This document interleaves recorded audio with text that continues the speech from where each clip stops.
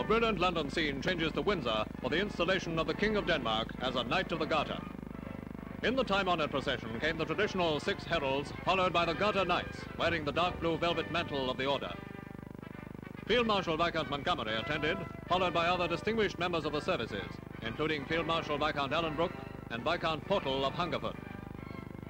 Another knight companion was Earl Mountbatten, while Princess Elizabeth and the Duke of Edinburgh were present, the princess in the attractive Tudor-style hat of the order.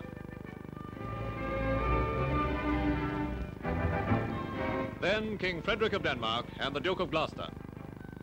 Into the castle the procession moved, last of all the king as sovereign of the order, accompanied by the queen, magnificently attired in their ceremonial robes.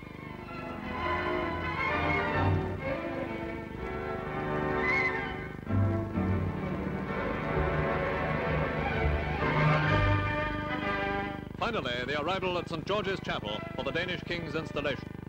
Once again, Windsor was seeing the 600-year-old ceremony instituted by Edward III.